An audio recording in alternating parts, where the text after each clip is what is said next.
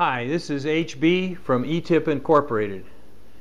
We have some tips for you about preventing diesel fuel and biodiesel fuel gelling in the dispensing pump or the bulk storage tank filter. Those filters are just as subject to diesel fuel gelling as are vehicles and we've developed a, a wrap, an electric blanket for your filter. We call it our uh, bulk tank filter preheater. It's equipped with a 7 foot 3 conductor cord, a ground lead with an alligator clip for convenience. It mounts to the filter. It's 7 inches by 9 inches and it's suitable for a 4 inch diameter filter.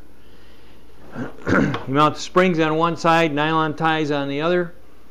Draw up on the nylon ties to tighten it. We've equipped it with a thermostat that will sense the temperature. This is designed to be plugged in continuously.